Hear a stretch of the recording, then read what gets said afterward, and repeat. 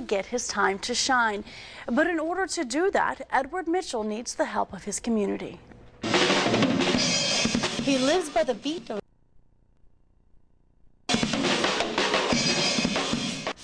and friends say they adore Edward Mitchell, a high school senior who graduates from Northside in less than two weeks.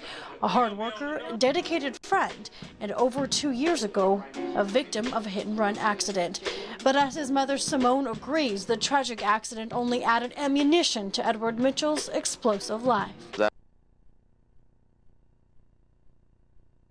Now that since I've seen what needs to be done, it's even a stronger push for me. A push that will send him a world away to Japan after winning one of 25 positions in a nation partake in a disability and volunteer exchange program. This trip will mean a lot because it'll be sending me to another country, but also to develop and bring things back to Jackson. When I get back, I'll be more than happy to speak and uh, share my experiences and show that anybody can do anything they want to do.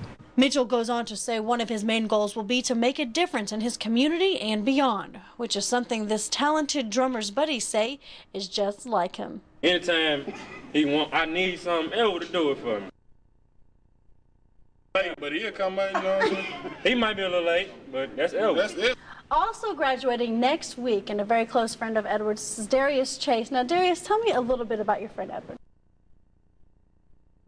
For about eight years now, and I mean, when I got here, he was like the first person I met. Came my best friend instantly because we had so much stuff in common, and I mean, we've been cool ever since. In order to take part in the once-in-a-lifetime experience, Edward Mitchell says he will need the financial assistance from his community. Used to help Edward, you can make your donations in his name, so that's Edward Mitchell, to Mobility